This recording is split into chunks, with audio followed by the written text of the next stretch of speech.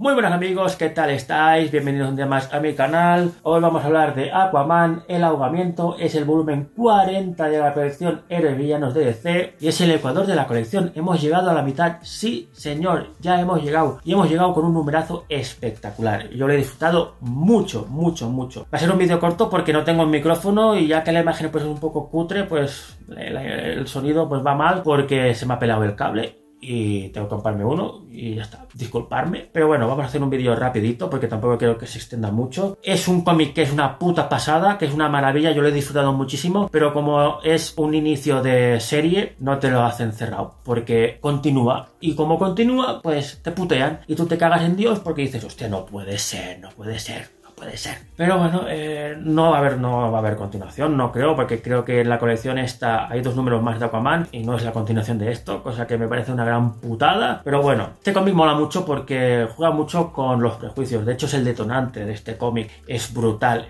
lo han plasmado maravillosamente la intolerancia que hay de Atlantes a seres humanos o terrestres, los que viven encima de la superficie, y al revés, que es acojonante. Y luego tenemos los villanos, ¿no? Que son tres.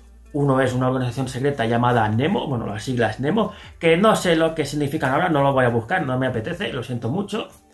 Leeroslo. Luego tenemos a Black Manta, que creo que todos lo conocemos ya un poquito. Y luego tenemos dentro de los Atlantes, hay una facción terrorista, pues no sé, los nazis de, de, Atlantis, porque es una facción terrorista y muy xenófoba y racista hacia nosotros, ¿vale? Hacia los seres humanos, los que vivimos aquí arriba, coño. Y esto desencadena una serie de sucesos impresionantes, muy, muy guapos. Mola mucho también ver cómo la gente, pues también ve a Aquaman como el ser más inferior de la Liga de la Justicia o el ser más rarito que conocen de la Justicia, porque habla con peces, ¿qué hace con los peces? Sí, lo típico, ¿no? Y luego también le tienen miedo, porque Atlantis, antes de que él gobernase, pues ya había atacado a la Tierra, ¿no? A Estados Unidos.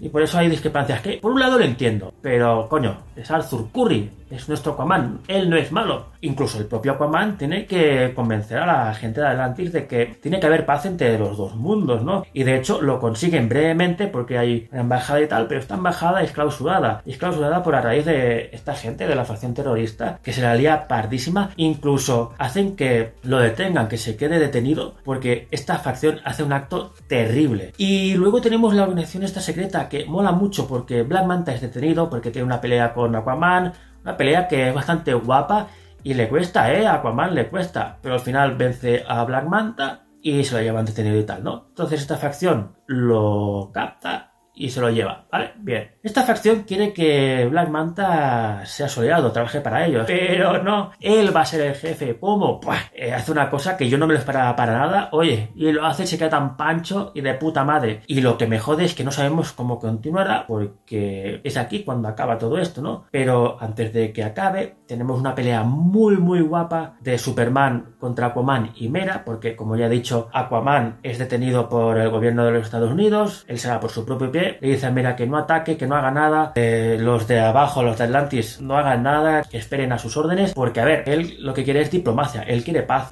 no se puede hacer, no se puede hacer, por los prejuicios estos, el gobierno no lo quiere escuchar, y al final lo que consiguen es que Mera rescate a Aquaman, el ejército de Atlantis llegue a la superficie, y mientras está llegando a la superficie, Superman es llamado por el presidente de los Estados Unidos para que intente detener a Aquaman, y hay una pelea espectacular espectacular. Al final, Superman dice, vale, resuélvelo. Y aquí es cuando se acaba y te rompen el cómic, porque dices, me cago en la puta. ¿Qué cómic más guapo me estás presentando? ¿Qué cómic más guapo estoy leyendo? Y me lo jodes aquí. Entonces, ¿qué queda? Buscarlo por internet, buscarlo de segunda mano, está descatalogado, puedes comprarlo en tiendas, no lo sé, hay que mirarlo, ya investigaré. Al menos acabar estos números, ¿no? Esta historia, porque de verdad, os lo juro que me ha parecido una auténtica pasada. Pero bueno, no sé si ha quedado claro el vídeo, espero que sí, menos un poquito. Y bueno, dicho esto, espero que os haya gustado el vídeo. Si es así, dale like, suscribiros y nos veremos en el próximo. Hasta luego.